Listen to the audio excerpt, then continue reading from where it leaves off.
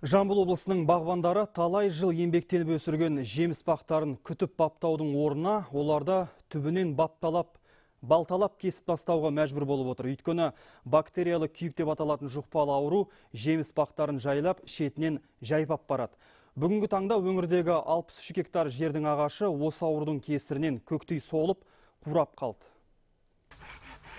Талай жылғы еңбегі еш кеткен шаруаның бірі құрбан ауытов бір гектар жердегі алмұрт бағы екі үш жыл болды шетінен қурап жатыр. Бұрындары күзде 15 тоннадай өнім жинап алатын қазір екі үш есе аз. Оның үстіне жемістердің сырты бүтін көрінгенімен іштері қарайып кеткен жеуге жарамайды улы дәрі шашып көрді болмады. Мал өлсе компенсация не төлейді ғой? Малды енді орнына төлеген ақшаға барып басқа мал ала салса болады. Бұл енді он бес жиырма жылда өскен ағашты бүгін құрта салып ертең дәл осындай ағашқа жеткізу оңай емес тағы да сондай уақыт керек. Үкімет тарапынан көмек болса деген ой бар. Мамандардың айтуынша жеміс ағаштарының күйігі бактериялы ауру жәндіктер немесе ауа арқылы жылдам таралады және онымен күресу де өте қиын. Ауруға шалдыққан ағаштардың бұдақтары өскенімен жапырақтарынан бастап бір екі жылда діңгегі түп тамырына дейін түгелдей қурап кетеді.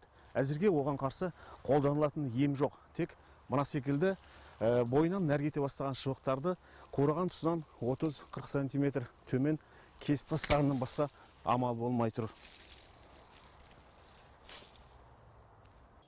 Тараз қаласында орналасқан аумақтық карантиндік зертхана қарайып қураған бұдақтарды алматы мен астанаға жөнелтіп жатыр. Өйткені мұнда бактериялық күйік ауруын анықтайтын арнайы құрал жоқ. Кесілген жерді парафинмен ара несі құрамындағылар сулар ағып кетпес үшін арға кеуіп кетпес үшін оны ақ қағазға орап фильтр фильтрованный қағаз дейді соны орап ішін кішкене сулап обязательно соны ұстап отырып бір екі күн осы жерде жинап астанаға қарай жібереміз. Бактериялық күйік ауруы бұған дейін елімізде тіркелмеген болып шықты. Сондықтан үкімет қаулысымен бекітілген қауіпті аурулар тізбесіне енгізіліп шаруаларға өтемақы беру жағы қарастырылып жатыр. Қазір біздің министерствоның тарапынан парламентке жіберді. Сол сол жақта шешіліп жаңағы қаулысы шығып ол қалай төленетінін барлығын сол жақтан енді есептеп солай шығарады ғой.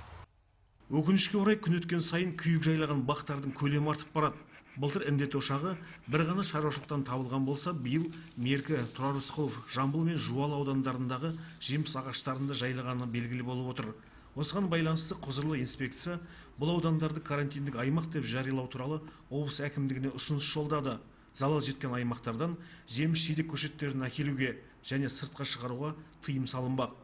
Ғани қалмаханов эльдар байділлә қазақстан ұлттық телеарнасы жамбыл облысы.